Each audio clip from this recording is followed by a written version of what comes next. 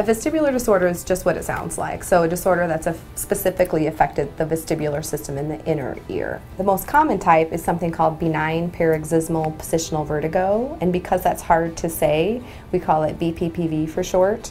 And so what happens with BPPV is that we all have these crystals that are in our ears and usually they are adhered together. Those crystals can become loose and they can migrate into a part of the inner ear where they're not supposed to be and it makes us sensitive to gravitational changes, meaning that patients will have problems when laying down in bed, getting out of bed, bending over to tie their shoes, looking up to pick something up off the top shelf, and they'll get very, very brief dizziness that just lasts for a few seconds. And as soon as they stop that activity, then the symptoms go back to normal.